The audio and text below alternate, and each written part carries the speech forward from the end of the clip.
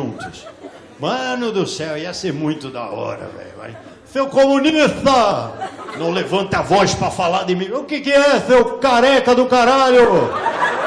Melhor do que ter um cabelo hitleriano. Fique quieto antes de falar de mim. Fia esse dedo no seu rabo, seu bosta. Vai se fuder vai pra Cuba, filho da puta.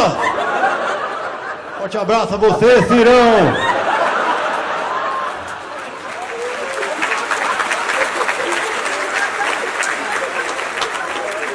Também lhe peço desculpa, Bolsonaro, que eu me excedi.